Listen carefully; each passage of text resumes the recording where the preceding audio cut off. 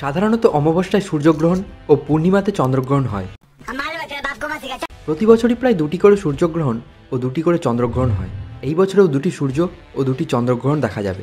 এই মাসে, অর্থাৎ এপ্রিলে দু হাজার তেইশ সালের প্রথম সূর্যগ্রহণ হবে। এটি একটি হাইব্রিড সূর্যগ্রহণ হবে। এই হাইব্রিড সূর্যগ্রহণ মানে কি এবং এই গ্রহণ কবে কখন কোথা থেকে দেখা যাবে, অর্থাৎ ভারত ও বাংলাদেশ থেকে দেখা যাবে কিনা, আজকের ভিডিওতে সেই বিষয়ে বিস্তারিত বলব। তাই ভিডিওটি অবশ্যই শেষ পর্যন্ত দেখুন। একটি দু মিনিটের ভিডিও আপনাদের সামনে উপস্থাপন করার জন্য অনেক পরিশ্রম করতে হয়। তাই দয়া করে ভিডিওটিতে একটি লাইক করার অনুরোধ রইল। তো চলুন, জেনে নেওয়া যাক। এই বছরের প্রথম সূর্যগ্রহণ কুড়ি এপ্রিল প্রায় সকাল সাতটা থেকে দুপুর সাড়ে বারোটা পর্যন্ত দেখা যাবে।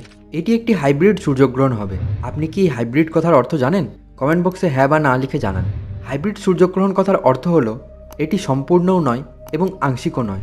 এই দুটির মিশ্র ফলাফল মানে কিছু জায়গা থেকে এটিকে সম্পূর্ণ গ্রহণ দেখাবে আবার কিছু জায়গায় এটিকে আংশিক গ্রহণ রূপে দেখা যাবে। এটি একটি বিরল প্রকৃতির সূর্যগ্রহণ। এই গ্রহণ দক্ষিণ পূর্ব Asia, Australia, Philippines, New Zealand, Indonesia এবং পাপুয়া নিউগিনি থেকে দেখা যাবে। অর্থাৎ দুঃখের বিষয় এই যে, ভারত ও বাংলাদেশ থেকে এই গ্রহণ দেখতে পাওয়ার সম্ভাবনা খুবই কম। তবে আপনি নিরাশ হবেন না। এই বছর আরও তিনটি গ্রহণ দেখা যাবে। সেই সমস্ত গ্রহণের আপডেট নিয়ে খুব শীঘ্রই একটি ভিডিও আপলোড করা হবে। তাই চ্যানেলটি সাবস্ক্রাইব করে পাশের বেল আইকনের অল নোটিফিকেশনটি প্রেস করে রাখুন।